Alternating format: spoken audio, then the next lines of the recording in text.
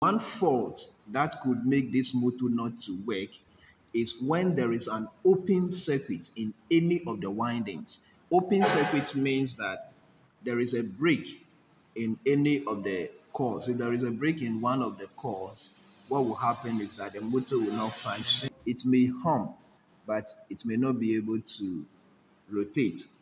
Okay. If we want to test to ascertain the continuity of all the windings, then we have to do what we call the continuity test on the windings to make sure that all the windings are continuous. So in this particular motor, you have three wires that are the beginning of the windings and then we have three wires at the top that is the end of the windings okay so in this case we can see that the wires are colored. So we have red we have yellow and then we have black. So we expect that this red is the beginning of the first coil and this is the end of that coil.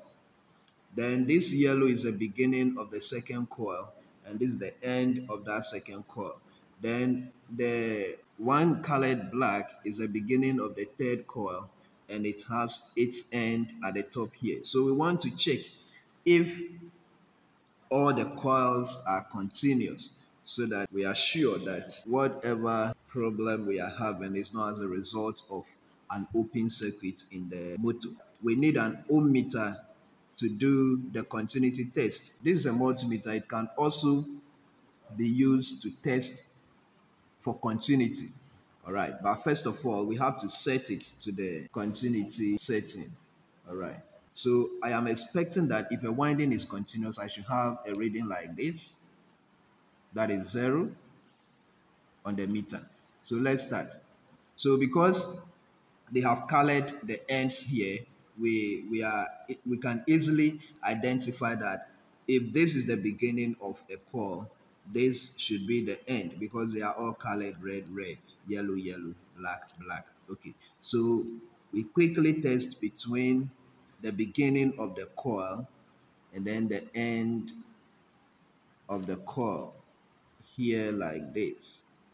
Okay, and you see a reading of zero ohms. All right. Then we go to the second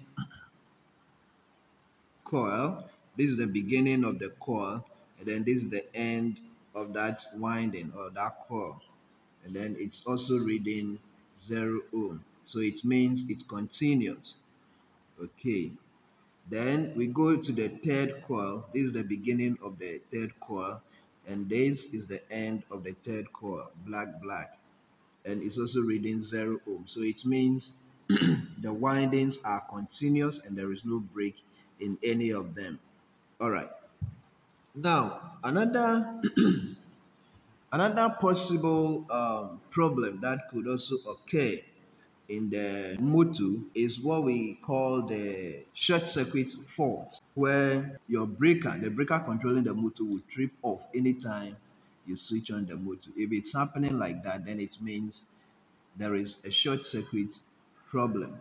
Now, if you want to check if there is a short circuit fault in the motor, then you will have to carry out insulation resistance test on the motor windings. I already have a video on how to do insulation resistance test on electric motor. Please do well to watch.